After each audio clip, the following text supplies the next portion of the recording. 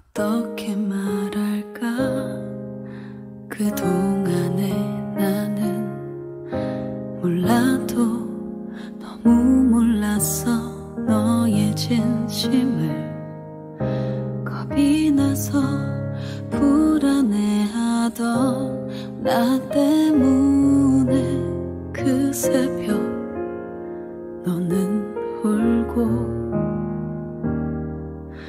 생각이 나 우리 어색했던 인사 아닌 척 해봐도 뭔가 불편했었지.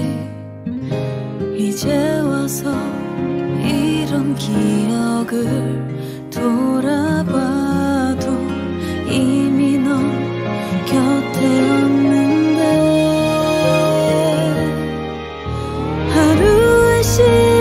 시작은 너를 바라보면서 살아가는 일 어느새 미소 짓던 너와 나.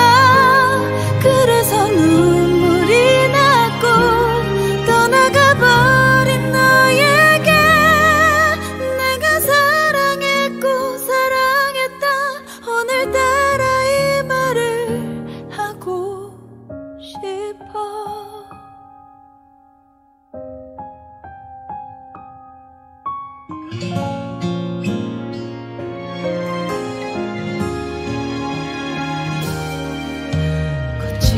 거칠어진 말이 익숙해진 날들.